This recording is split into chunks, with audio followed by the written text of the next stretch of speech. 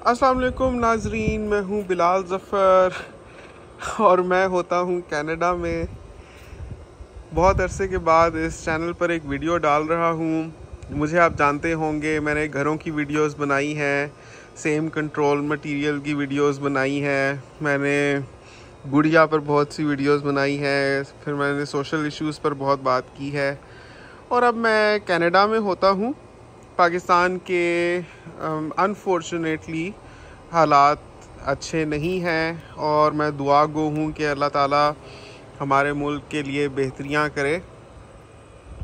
और बहरहाल मैंने तो अप्लाई कर रखा था कैनेडियन इमिग्रेशन का प्रोसेस 2018 से ही।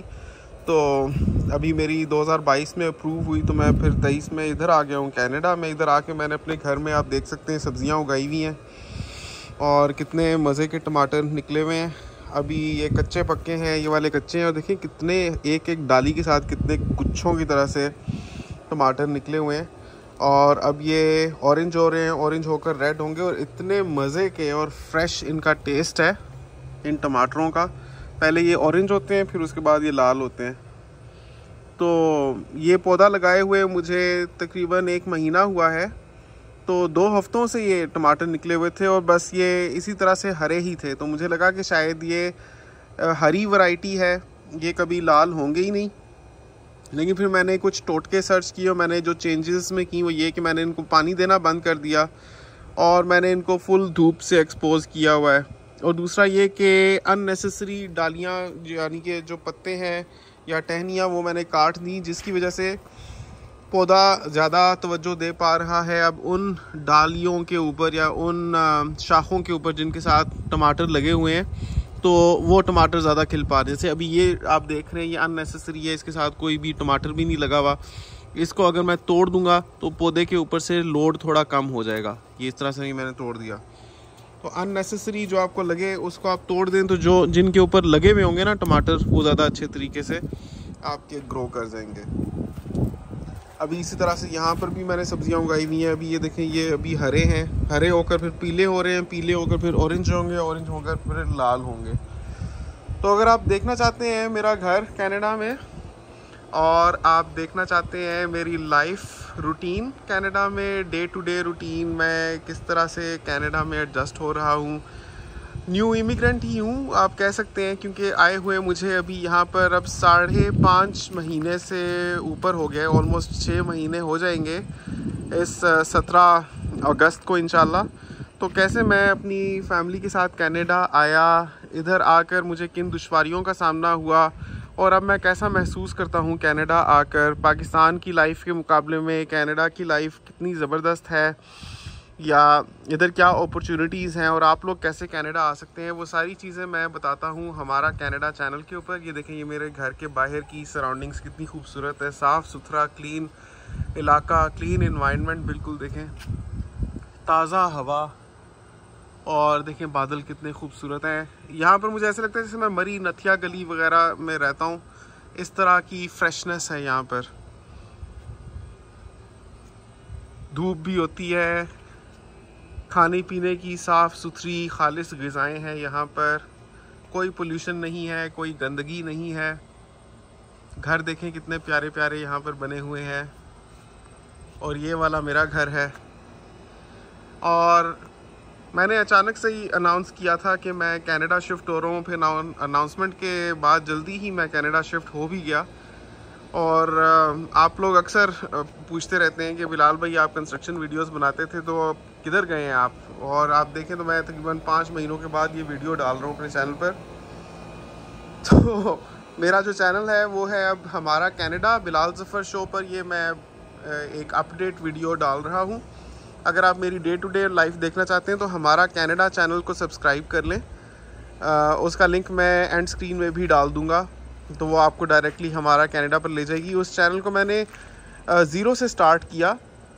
बिलाल जफ़र शो पर तो कंटेंट डालना छोड़ दिया, क्योंकि इतना वक्त नहीं होता कि इंसान दो दो चैनल्स रन कर सके, लेकिन हमारा कनाडा पर मैं डेली वीडियोस डालता हूँ। और वो जो चैनल मैंने पिछले साल शुरू किया था फ्रॉम स्क्रैच अभी उस पर माशाल्लाह आज अट्ठाईस हज़ार सब्सक्राइबर्स हो गए हैं। और उस पर मैं ऑलमोस्ट डेली व्लॉगिंग करता हूँ। उससे बहुत वैल्यूबल इंसाइट्स मिलेंगी, अगर आप उसको सब्सक्राइब करेंगे ना। क्योंकि यहाँ पर यूट्यूबर्स बहुत से हैं, ख़ास तौर पे एक तो पाकिस्तानी यूट्यूबर्स बहुत कम हैं, क्योंकि पाकिस्तानी वैसे ही इंडियंस के मुकाबले में कनाडा में बहुत कम है। अब उनमें भी जो पाकिस्तानी यूट्यूबर्स हैं, उनकी अपने अपने हालात वाक़ात हैं। मेरा जो, हमारा कनाडा सब्सक्राइब करने का बुनियादी ये डिफरेंस है बाकियों के मुकाबले में कि बहुत कम यूट्यूबर्स हैं जो अपनी इतनी छोटी बच्चियों के साथ कनाडा आए हैं कि मेरी एक बच्ची है, चार साल की, दूसरी है एक साल की। जिसकी वजह से हिना, यानी मेरी जो वाइफ है, वो काम नहीं कर सकती यहाँ पर बिकॉज़ छोटी बच्ची टोटली उन पर डिपेंडेंट है। तो टोटली हमें एक फैमिली मेंबर है जो अर्निंग है यहाँ पर कनाडा में। मतलब जॉब करके जो कमा सकता है ना, वो अभी फ़िलहाल हमारा एक ही है। वरना ये होता है कि जो यूट्यूबर्स होते हैं, अभी उनके बच्चे नहीं हुए होते फ्रेशली शादी हुई होती है। तो वो लोग कनाडा आ जाते हैं तो फ्रेशली मैरिड होते हैं तो दोनों लोग काम कर सकते हैं।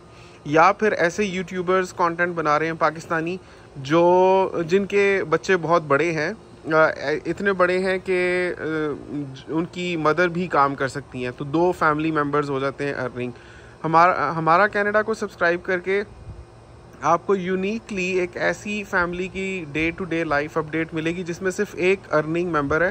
बिकॉज़ कनाडा के कॉस्ट ऑफ़ लिविंग के हिसाब से अर्निंग मेंबर्स uh, कितने हैं ये बात बहुत इंपॉर्टेंट है। तो अगर आप मेरी सिचुएशन से रिलेट कर सकते हैं आपके भी इतने छोटे बच्चे हैं कि आप अगर कनाडा मूव होकर आते हैं और दोनों अफराद नहीं काम कर सकते, सिर्फ़ एक ही कर सकता होगा। तो आप बहुत रिलेट कर पाएँगे मेरी वीडियोस से। जो स्टेप्स मैं ले रहा हूँ, यहाँ पर अपने आप को इधर सेटल करने के लिए इस्टेब्लिश करने के लिए, अभी तक मैंने कैसे जॉब हासिल की जॉब मेरी कैसी जा रही है, और मैं फ़र्दर अपने लिए फ्यूचर के हिसाब से क्या प्रॉस्पेक्ट्स देख रहा हूँ, वो सब चीज़ें मैं डे टू डे शेयर करता रहता हूँ हमारा कनाडा के ऊपर। तो do make sure that you subscribe अगर आप लोगों ने नहीं भी आना कनाडा तब भी हो सकता है कि आपके बच्चों के लिए आप सोच रहे हो कि उनको पढ़ने के लिए आप कनाडा भेजें या आपके बहन भाई या आपके ख़ानदान में से कोई हो सकता है कि जो पहले से कनाडा हो तो मुमकिन है आपके लिए भी आने के कोई प्रॉस्पेक्ट्स हों। तो वो सारी चीज़ें आपको हमारा कनाडा पर पता चलती हैं। तो इस वजह से मैं आपको ये इनक्रेज करूँगा कि आप आ, हमारा कनाडा चैनल को ज़रूर सब्सक्राइब करें। बिलाल जफ़र शो पर भी मैं कंटेंट डालता रहूँगा, लेकिन गाहे बगाहे मुझे जैसे ज़रा वक्त मिलेगा तो मैं ज़्यादा कंटेंट डालूँगा, लेकिन फ़िलहाल इतना होता नहीं है। तो चले, मैं आपको थोड़ा सा बाहर से भी दिखाता हूँ, मेरा घर। और आप नीचे कमेंट्स करके मुझे बताएँ कि आप सरप्राइज़ हुए हैं मेरे कनाडा आ जाने से। ये देखें, ये फेंस है फेंस के अंदर सारा ग्राउंड है। और ये देखें कितने प्यारे पौधे लगे हुए हैं। अभी कनाडा में समर सीज़न है। थोड़े अरसे में यहाँ पर बर्फ़बारी स्टार्ट हो जाएगी। विंटर्स आ जाएँगे।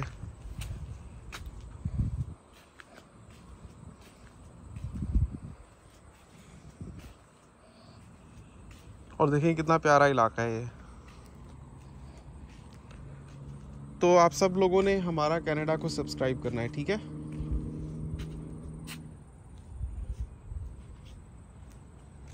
आपसे मिलता हूँ अगली वीडियो में तब तक के लिए अल्लाह हाफिज़।